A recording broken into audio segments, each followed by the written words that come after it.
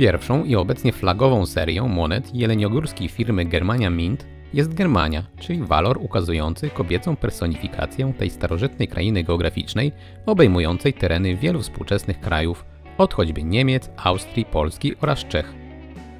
Pierwsza moneta z tej serii pojawiła się w roku 2019 i prezentowała stojącą postać Germanii, trzymającą cesarski miecz oraz tarczę z wizerunkiem dwugłowego orła.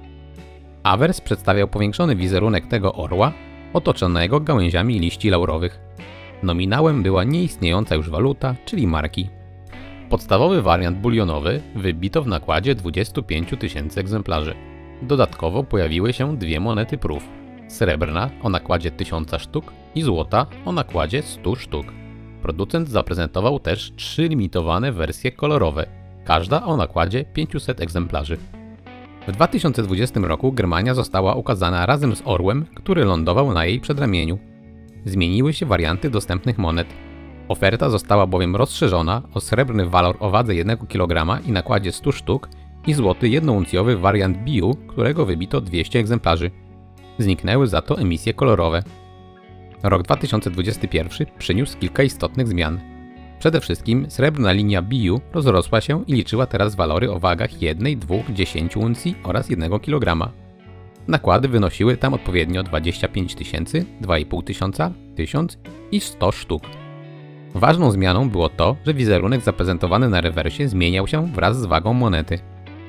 Rosnąca średnica waloru dawała możliwość rozszerzenia sceny i na każdym większym rewersie widzieliśmy po prostu więcej. W 2022 roku stało się jasne, że w swojej flagowej serii Germania Mint opowiada nam historię. Najpierw zaprezentowano nam jej główną bohaterkę, czyli Germanię. W następnej edycji Germania wezwała swojego towarzysza, dwugłowego orła. W kolejnej wsiadła razem z nim na statek. Natomiast w 2022 roku ów statek dotarł do celu swojej podróży i scena na monecie z tego roku ukazywała moment wyjścia Germanii na brzeg. Ponownie zastosowano przy tym zabieg ukazujący coraz większą scenę wraz ze wzrostem średnicy i wagi monety. Na najmniejszym walorze jednouncjowym skupiamy się na idącej Germanii z mieczem oraz tarczą, a także na towarzyszącym jej lecącym orle. Na monecie 1 kg widać już sporą część wybrzeża oraz prawie cały statek kołyszący się na falach. Byłem więc bardzo ciekawy tego, jak historia potoczy się dalej i co Germania Mint pokaże nam na kolejnej monecie z tej serii.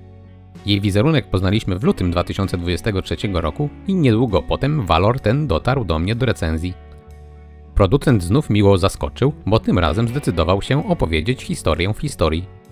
Różne wagi monet znów mają różne wizerunki, ale tym razem nie chodzi już o szerokość sceny. Wraz z rosnącą wagą mamy bowiem ukazany upływ czasu. Na walorze jednouncjowym Germania idzie w towarzystwie lecącego orła. Na monecie dwuuncjowej staje się jasne, że zbliża się ona do głazu, na którym naniesiono tajemnicze runy. Jednocześnie orzeł zaczyna się składać do lądowania na owym głazie. Na dziesięciouncjówce orzeł już prawie wylądował, a Germania zaczyna klękać przed głazem. Finał tej mini historii ukazuje awers monety jednokilogramowej. Germania już klęczy, a orzeł siedzi na głazie z rozpostartymi skrzydłami. Co będzie dalej? Przekonamy się najprawdopodobniej za rok. Bardzo podoba mi się kreatywne podejście Germania Mint do tematu oraz fakt, że z edycji na edycję potrafi nas ona czymś pozytywnym zaskoczyć. Jednocześnie skłania kupujących do zainteresowania się większymi monetami, tak aby zbierana kolekcja obejmowała wszystkie wątki opowiadanej historii. Dodatkowo miłośnicy serii mogą z niecierpliwością czekać, co moneta pokaże w kolejnych edycjach. Jeśli chodzi o rocznik 2023, w moje ręce trafiła najbardziej popularna moneta o wadze 1 uncji i nakładzie 25 tysięcy egzemplarzy. Tradycyjnie już wykonałem jej zdjęcia makro o wysokiej rozdzielczości, co pozwoliło ocenić mi jakość projektu oraz jego wykonania. Będę nudny, bo będę się powtarzał. Niezmiennie uważam, że pod względem ilości szczegółów i jakości wykonania Germania Mint należy do najlepszych producentów na rynku i nie musi mieć żadnych kompleksów nawet wobec tak renomowanych firm jak australijska Perf Mint. To, że od czasu do czasu zdarzają się im wpadki, jest faktem, ale trudno znaleźć innego producenta, któremu takie wpadki się nie zdarzają. Zdjęcia pokazują wyraźnie, że VAT nie ma praktycznie wcale. Rzućmy okiem najpierw na rewers. Po pierwsze, widać mnogość szczegółów i tekstur. Po drugie, nawet w lustrzanych obszarach, np. na szacie Germanii, jakość wykonania jest prawie idealna. Mamy tam dosłownie kilka minimalnych kropek, z których większość to pyłki, a nie uszkodzenia. Swoich zdjęć nie robię w próżni, więc minimalne zabrudzenia są nieuniknione. Po trzecie, W świetnym stanie jest także wąski matowy otok, który z racji na fakt wystawania i bycia zewnętrzną krawędzią monety zawsze jest mocno narażony na uszkodzenia. Gdy spojrzymy na awers, wysoka opinia o tej monecie nie ulegnie zmianie. Orzeł i jego otoczenie jest praktycznie nieskazitelne, a matowy otok pokazuje kilka nielicznych ciemniejszych rysek. Taki stan pokazują w zasadzie tylko najdroższe monety premium. Brawa dla Germanii. Pozostała jeszcze kwestia ceny. U dealerów moneta ta pojawiła się w kwocie około 150 zł.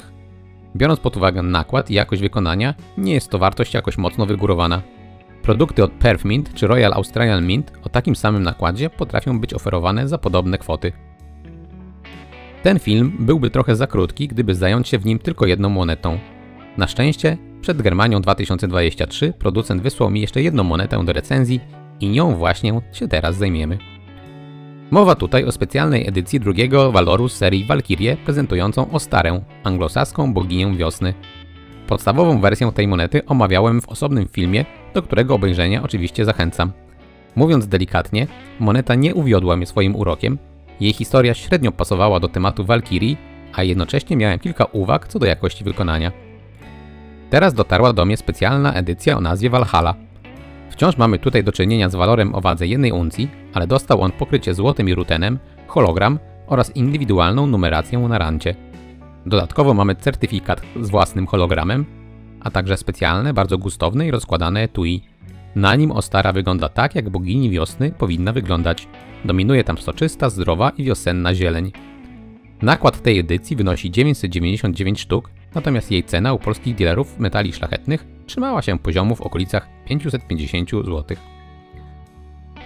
Trudno mi wyrazić opinię na temat ceny, bo w przypadku walorów z dużą premią wszystko zależy od tego, czy moneta lub cała seria przypadła nam do gustu, czy nie. Tutaj inwestycje odchodzą trochę na drugi plan, a na pierwszy wysuwają się emocje i walory artystyczne. Decyzję każdy musi więc podjąć samemu. Rzućmy okiem na zdjęcia makro, żeby ocenić, czy jakość wykonania wersji specjalnej jest lepsza od zwykłego egzemplarza, który dotarł do mnie poprzednio. Zacznijmy od rewersu.